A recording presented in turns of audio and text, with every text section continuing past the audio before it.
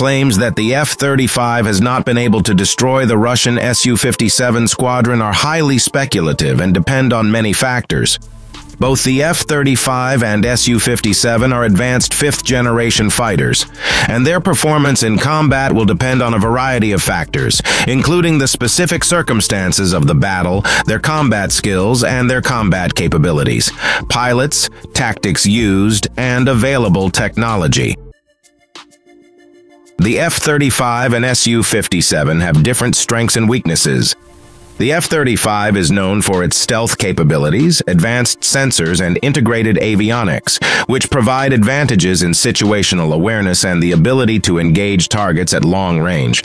On the other hand, the Su-57 is designed for super maneuverability and cruising, which can be advantageous in certain scenarios. How effective one aircraft is against another depends on the tactics and strategies used by each Air Force. The F-35 can operate in conjunction with other aircraft and assets, such as electronic warfare aircraft, to gain an advantage. It's not just about individual aircraft, but also about the number of aircraft and the logistics and support available. A squadron of Su-57 could be outnumbered or outgunned compared to a coalition of F-35 and their supporting assets. Modern air warfare involves a significant electronic warfare component.